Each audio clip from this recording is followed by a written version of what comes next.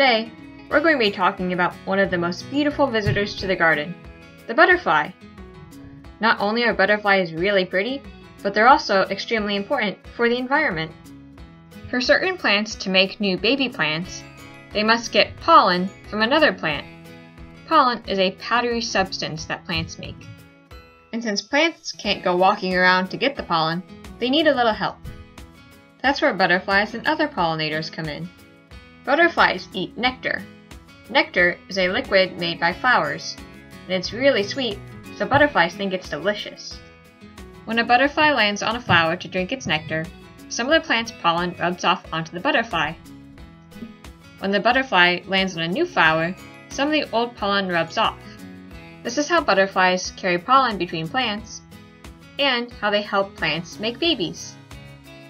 However, as people have been turning natural green spaces into parking lots and office spaces, butterflies have been losing their homes and habitats.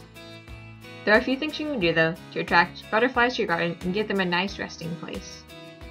The first thing you can do is plant flowers that butterflies like.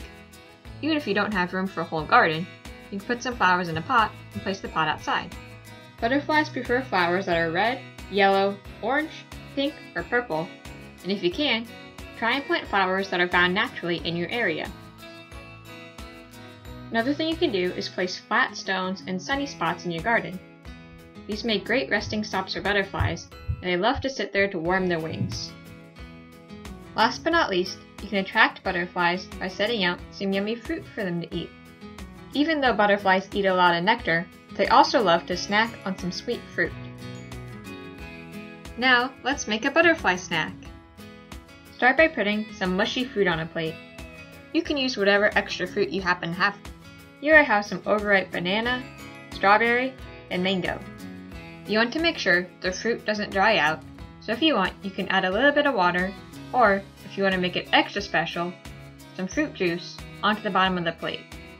Now, your plate is ready for the butterflies. When you set it outside, make sure to set it away from your front door, because it'll attract other bugs too. If you can, Tape some string onto the bottom of the plate and hang it up. If not, you can set it on the ground. If you put the plate on the ground, you might want to put it on top of a larger plate that's filled with water to keep ants from getting to the food. Either way, butterflies will love this delicious snack. Now that you know a few ways to make visiting butterflies happy, I hope you have a beautiful day. See you later!